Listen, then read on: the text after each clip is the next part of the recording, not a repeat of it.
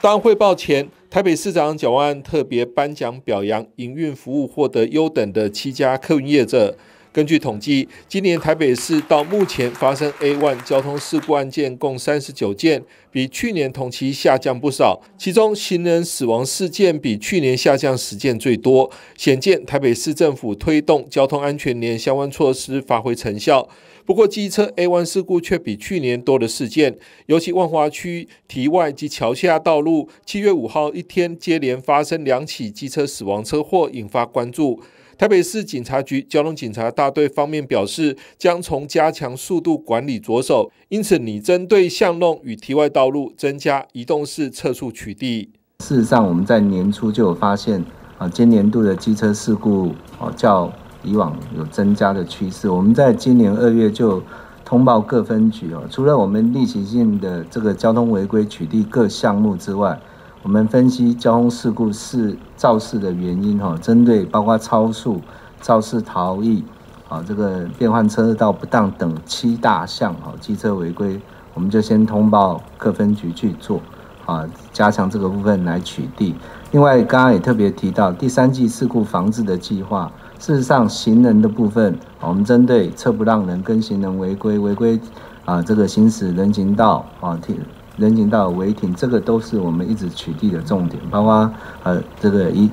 移动式的道路障碍之外，我们特别啊往年七月开始都是一个啊年轻族群啊或者是机车族群的这个高峰期，那我们今年度也开始针对巷弄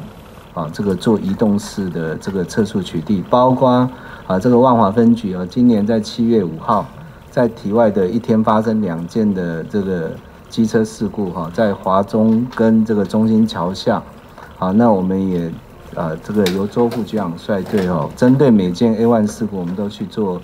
啊这个会勘哦。那针对万华分局，包括啊这个环快跟体外的这个快速道路哦，在机车，我们发现机车的事故确实在速度管理真的都多多少少都有关，所以我们也请万华分局针对哈，包括各分局体外的和体外的。啊，包括巷弄做这个移动式测速照相。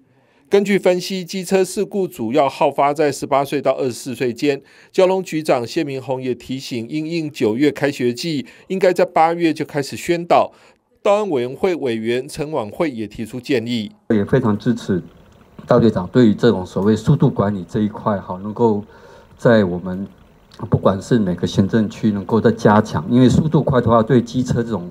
弱包铁的哈，它是没有办法有保护的，所以它的死亡的几率好是会比较高哈。呼吁我们的教育局，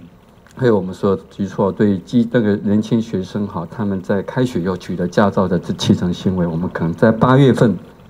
就开始要做宣导，好，以免说在九月份整个喷喷升起来。年轻人主要的那一些事故的问题，比如说超速的事情，那你给他看那些影片，你就是超速，你就是来不及，就是会自撞，就是会怎么样，所以你的速度控制就要变得很重要，所以就不是说一个很。很简单的跟跟他讲说哦，你就不要超速，是不是有更好的方法？影片真的是最快。台北市长蒋万更提醒，下半年开始才是严峻挑战，要求各单位严阵以待，多层面、多管道宣导及加强防范，以避免机车族群 A one 事故的发生。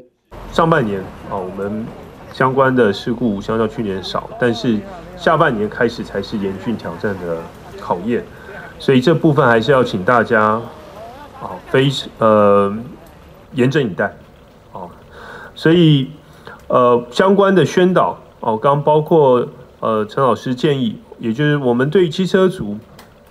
下半年事故会增加，十八到二十二岁吧，啊二十四啊，这个也都是我们要特别关注跟留意的族群，以及啊下半年开学以后，以及到年底有各项的活动，那对于。年轻学子，包含台北市有这么多的大专院校，以及刚刚谈到对文化或北师大，我们怎么样加强的宣导，来避免机车族群 A 问事故的发生？我想要多层面、多管道来进行相关的宣导，以及加强防范。另外，针对下半年行人，尤其是长辈，可能因为天色变化等因素造成交通事故发生几率提高，蒋万也要求各单位全面动起来，在公园、学校等热门运动场地，能透过加强路灯照明及三色号志灯早开等建制，来有效防止事故的发生。记者张启腾台北报道。